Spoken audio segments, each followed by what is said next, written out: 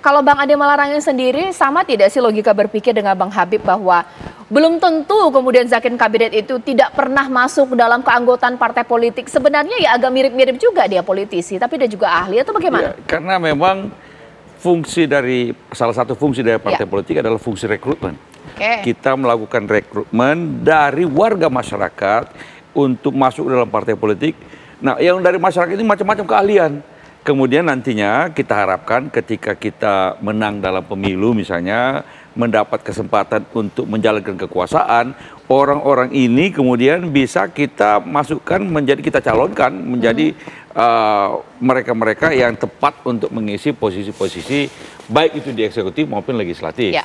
Nah karena itu uh, apalagi partai politik modern memang sekarang ini partai politik modern seperti dikatakan uh, Bung Habib tadi di Gerindra maupun di Demokrat itu ada ketua-ketua bidang mm -hmm. yang membidangi apakah itu kelautan, perindustrian, kehutanan, pertanian dan segala macam uh, seakan-akan menjadi semacam yeah. Ya. uh, kabinet bayangan semacam begitu ya. Sehingga mereka juga mengikuti memonitor berbagai macam isu-isu di samping mereka dari latar belakang yang pas untuk itu. Mm -hmm. Tapi memang ada juga di dalam biasanya di dalam kabinet sistem presidensial bisa saja presiden memilih orang yang non partai politik untuk masuk dalam kabinet. Kalau sistem parlementer, ya. semua kabinet biasanya dari partai politik. Seperti di Malaysia, Anda nggak mungkin jadi menteri kalau bukan anggota DPR. Ya. Uh, anggota parlemen. Ya. Jadi anggota parlemen itulah yang menjadi menteri. Singapura juga begitu. Tetapi dalam sistem presidensial, karena presiden bisa membuat misalnya posisi-posisi tertentu yang sifatnya non partai politik misalnya Menteri Kementerian ya. Keuangan. Ah, biar aja yang yang non partai politik di situ. Tapi mm -hmm. sebenarnya kalau ditanyakan uh, kepada partai-partai politik yang ada, koalisi ya. Kim misalnya, punya nggak dokter-dokter ekonomi yang bisa diusulkan untuk jadi punya sebenarnya. Tapi ini semua tergantung dari uh, presiden ya. uh, terpilih nantinya. Oke, Bang Andelman, tapi uh, Partai Demokrat sempat khawatir nggak sih dengan wacana Zaken Kabinet kurang dong nanti uh, kursi untuk Enggak. Partai Demokrat? Kalau Zaken Kabinet itu diartikan sebagai orang-orang yang kira eh, kira-kira the man behind the guy, the right man in the right place. Ya. Dengan punya kemampuan pada posisinya itu tidak ada masalah kalau second cabinet orang yang ahli dalam bidangnya hmm. atau mampu punya kapasitas ya. untuk menjalankan tugas dari kementerian tersebut itu kan pada dasarnya juga second kabinet. Oke. Okay. Jangan selalu dianggap bahwa second ya. kabinet harus berarti non partai politik. Iya. Uh, mungkin saya mau tanya lagi ke Bang Habib, sebenarnya awal mula Pak Prabowo tercetus ide ini itu sejak kapan sih sebenarnya? Sejak dulu. Second kabinet. Sejak dulu mungkin dalam setiap kampanye selama beberapa kali pilpres ya Pak Prabowo sampaikan begitu Alasannya? Bentuk kabinet yang memang kabinet kerja, mm -hmm. ya, yang langsung kerja. Jadi kita, uh, apalagi ini kan kita bicara keberlanjutan dari pemerintahannya Pak Jokowi, mm -hmm. sehingga uh, waktu penyesuaiannya pasti lebih sedikit.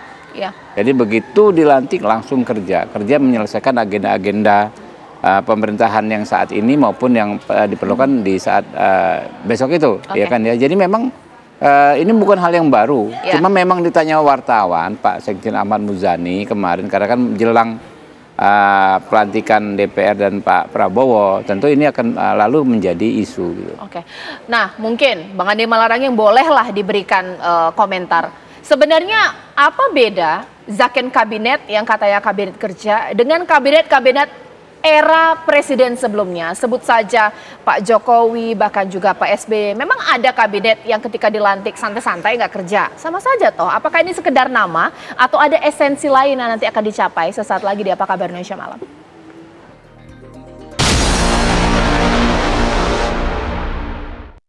Sebelum saya melanjutkan dialog apa kabar Indonesia malam, mari kita lihat serba-serbi Zaken Kabinet di mana Zaken Kabinet adalah kabinet yang jajaran menterinya berasal dari kalangan ahli dan bukan representasi dari suatu partai politik tertentu. Secara definisi seperti ini pemirsa, bahwa dari kalangan ahli dan tidak terdaftar sebagai kader partai politik tertentu. Itu dari sisi definisi.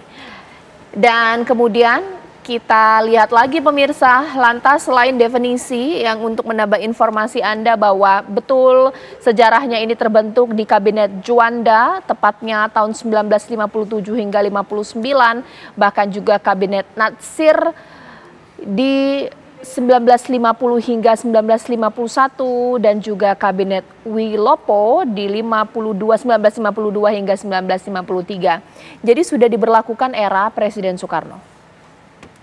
Mari kita lihat lagi pemirsa data berikutnya. Ya yakni apa sih sebenarnya fungsi dan tujuan dari kabinet Zaken tadi? Berbedakah dengan kabinet-kabinet yang sudah dijalankan oleh Presiden SBY mungkin Jokowi? Yang pertama menghindari malfungsi dan praktik korupsi. Apakah ini ada hubungannya dengan kapasitas mereka sebagai anggota partai politik.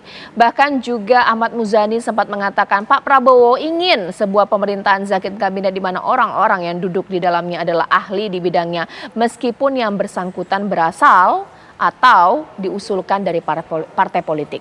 Jadi kalau secara definisi ini Zakin Kabinet tidak letterleh bahwa yang isinya adalah orang-orang ahli atau juga para teknokrat akademisi yang tidak menjadi kader partai politik bisa diusulkan, bisa juga berasal. Apakah seperti itu pemaknaan kita? Setujukah kita dengan pemaknaan seperti itu? Saya akan tanya kepada dua narasumber saya yang juga tersambung lewat sambungan Zoom, politisi senior Partai Golkar, Bang Ahmad Doli Kurnia, bahkan juga pengamat komunikasi politik kita, Bang Effendi Gozali. Selamat malam, Assalamualaikum. Selamat malam, Waalaikumsalam warahmatullahi wabarakatuh, Caca dan para ya. pemirsa. Ya, saya ke Bang Ege terlebih dahulu. Kalau ya. kita cari, kita riset mengenai definisi Zaken Kabinet isinya ahli dan teknokrat, tidak ada sangkut pautnya dengan partai politik, bukan anggota. Tapi dari definisi Pak Ahmad Muzani, sebentar, teknokrat, akademisi, tapi bisa merupakan anggota partai politik atau diusulkan. Nah, versi Bang Ege ini yang mana ini? Lebih pro ke arah mana ini?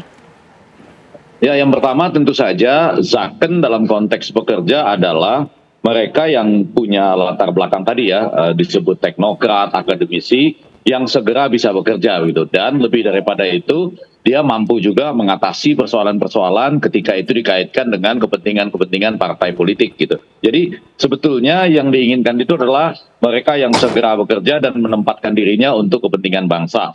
Itu pun mungkin agak sulit ya dicari definisi yang betul-betul real atau definisi yang praktis tapi saya ingin mengatakan begini, Pak Prabowo itu adalah presiden terpilih yang sudah punya segala pengalaman. Anda bisa coba ya, pengalaman uh, latar belakang pendidikannya baik, kemudian latar belakang pernah juga uh, tinggal di luar Indonesia. Kemudian juga sekarang pada kesempatan ini dia bisa melihat banyak pendahulu-pendahulunya ditambah lagi dengan pada konteks tertentu dia sudah mengunjungi banyak negara di dunia dan barangkali cuma ini satu-satunya sisi positif dari waktu tunggu yang begitu panjang antara pemilu sampai pelantikan di mana Bapak Prabowo itu bisa memiliki kesempatan ya dengan sekali lagi kecerdasannya, pendidikannya, kemudian pengamatannya itu dia bisa memilih uh, yang betul-betul disebut zakon kabinet sesuai dengan kondisi Indonesia pada saat ini. Jadi zakon kabinet ini saya yakin akan berbeda-beda pada setiap masa waktunya. Begitu Caca.